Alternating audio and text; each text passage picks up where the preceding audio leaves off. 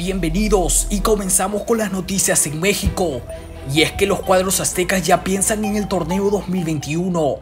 Debido a ello, han planificado varios partidos amistosos de cara a su preparación previo a la Liga Mexicana, a iniciarse el 8 de enero. En el Club Solos de Tijuana tuvimos presencia ecuatoriana.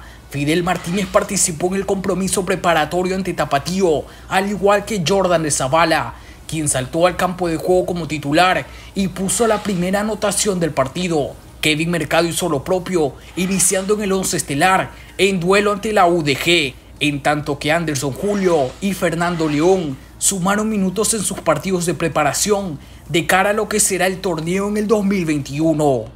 Y ya que estamos en México, mencionar que la Liga MX destacó la gran campaña de Ángel Mena, enfatizando lo fundamental que fue el ecuatoriano para el campeonato con León en la temporada 2020. El colega Sebastián Machado reveló que Ángelo Preciado tendría ya decidido su destino de cara al 2021.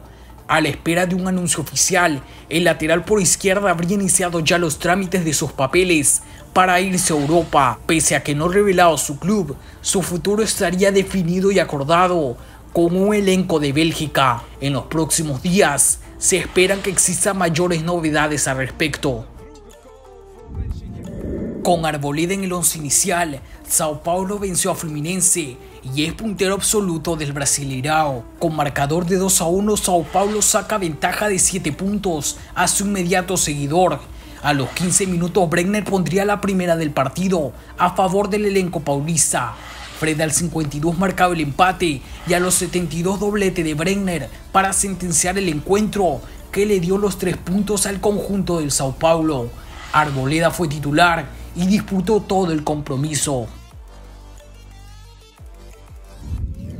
En la misma jornada, el Corinthians, equipo de Juan Casares, venció por dos goles a cero al Botafogo. El volante de nacionalidad ecuatoriana fue el autor del primer tanto de este partido, con una gran acción aérea al minuto 34. Y ya en los adicionados del segundo tiempo, Mateo Vital pondría la segunda en el marcador y así finalizaría el partido. Juan Casares se mantuvo en cancha hasta el minuto 85 cuando fue sustituido.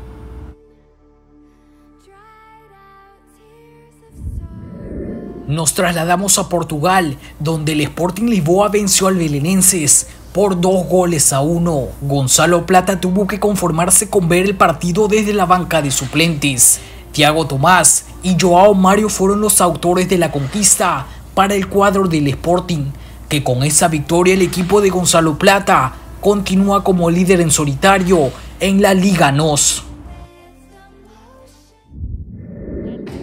Y finalizamos con las siguientes noticias. En Turquía, Arturo Mina no fue convocado en la victoria de su equipo ante el Yeni Sport, según reportes, debido a una molestia muscular, al igual que el atacante ecuatoriano Leonardo Campana, quien tampoco estuvo presente en la caída de su equipo ante el Gil Vicente por lesión en su muslo izquierdo.